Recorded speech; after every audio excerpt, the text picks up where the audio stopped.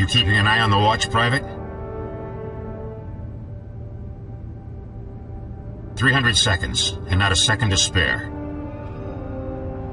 And don't forget, never look directly into the sun.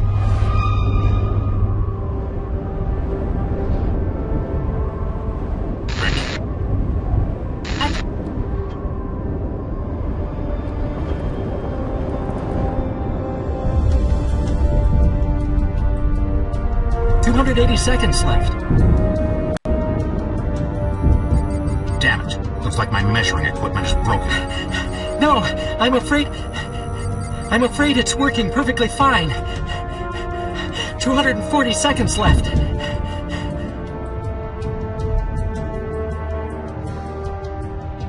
We just received news from Antarctica, Machu Picchu, and Eastern Oceania. Their measurements match ours. We're expecting a solar flare similar to the Oswald flare from 2113 within the next two weeks.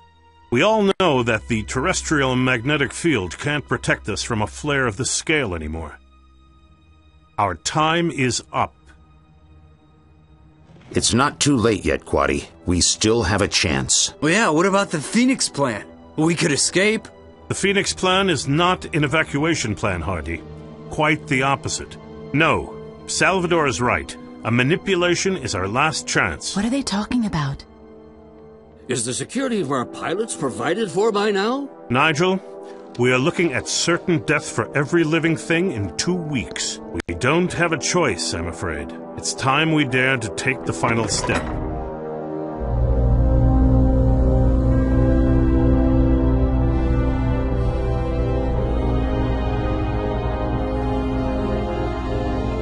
A step back. To the past.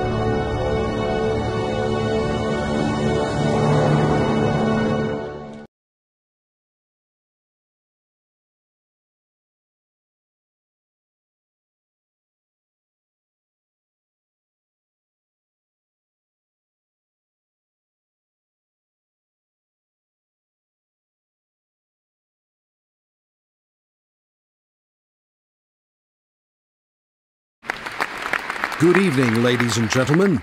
Hurricanes, forest fires, melting polar caps, and expanding deserts.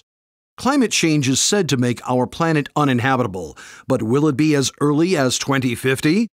Today, I welcome the author of the novel, The Phoenix Plan. He has a doctorate in physics, is a special emissary of the EU, and an ambassador for a better world. Welcome, Dr. Leif Ogerson. Good evening, Tom.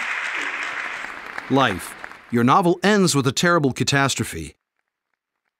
Gonzalo, a militant eco activist from the future, causes a major nuclear disaster, thereby destroying all of South America. That was the only way to save the world for good, or so he said. Are you serious? Did you just tell the whole world about the fantastic ending of my novel? It is a very cynical ending. yes, it is. Seriously, the important question you should ask is this How can you encourage 7 billion people to act? Two people alone can't save the world. So you want to provoke your readers into action? Do you really think a sci fi thriller is the right platform? Why wouldn't it be? My god, we live in the 80s. Bullocks. Complete and utter nonsense. What, talk shows?